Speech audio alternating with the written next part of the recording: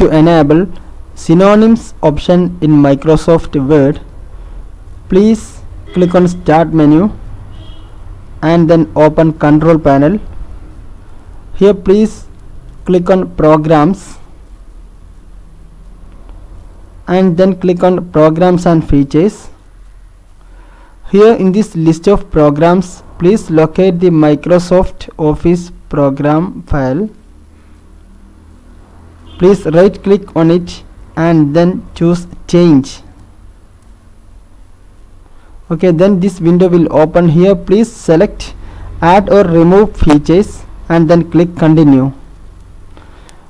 In this list please expand the office shared features. Expand it. And then please select from here proof tools right click on it and choose run all from my computer. Click on it and then please click on continue. Okay. Now it is processing. This may take some minutes so please wait. After the completion please close this window. Now let us check please right click on the word you want its synonym and choose synonym okay? Now it is working perfectly.